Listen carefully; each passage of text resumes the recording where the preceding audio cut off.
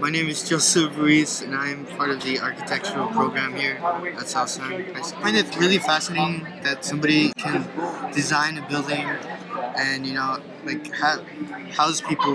My name's Denise Garcia. I'm a junior here at South San. I am historian for Taffy. It, it helps you a lot. It helps you gain experience. You go into competition.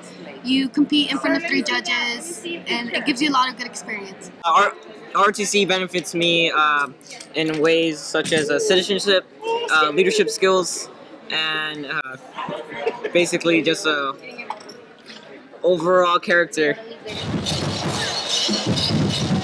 My name's Serena and I'm a senior and I'm on the dance team. I really enjoy it and I really enjoy being a senior as well and getting to meet people like Deanna.